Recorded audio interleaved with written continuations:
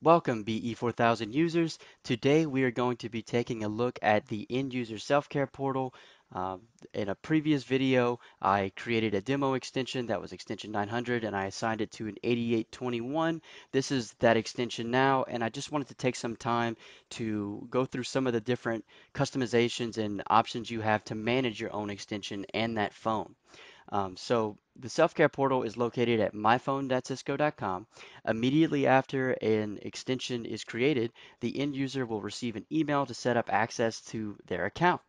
Um, so on our first page or the main page, we'll see that we have our demo extension. If we come over here, we see that we have a feedback link. We also have links to documentation, such as those uh, for the different um, phone models. So if you wanted your documentation on an 8800 series or 7800 series phones, you could find that out there. Um, we can change our password. We can change the display name that actually shows up on the phone itself. We can see that this is extension 900. We can set up a single number reach. Um, single number reach allows you to receive a call at a device such as your cell phone whenever your main desk phone rings. You just simply insert your number there and that will be set up. Call forwarding, we can do this as well. We can either refer uh, or forward our calls to voicemail or we could select other and either go to a cell phone or some other number. We can reset our voicemail pin. Um, how often do we forget our, our, our voicemail pin, right? happens to everyone. You can reset it here.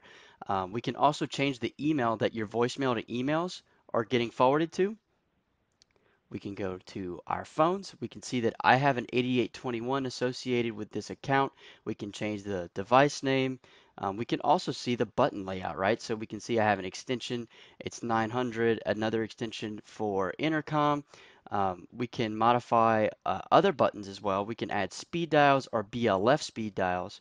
So BLF stands for busy lamp field. It shows whenever an extension is on hook or off hook. So whether it's on the phone or off the phone. So these have to be extensions that are actually um, a part of your internal uh, system. So you know, these will obviously be listed here. If I add this 100, you can see that this is the main line, and then we get an option to add others.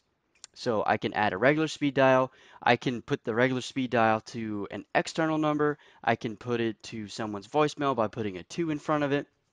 Um, there's many different options that you can have there. And then when you're done, you just simply hit save. And in a few seconds, your, um, uh, your change will be applied.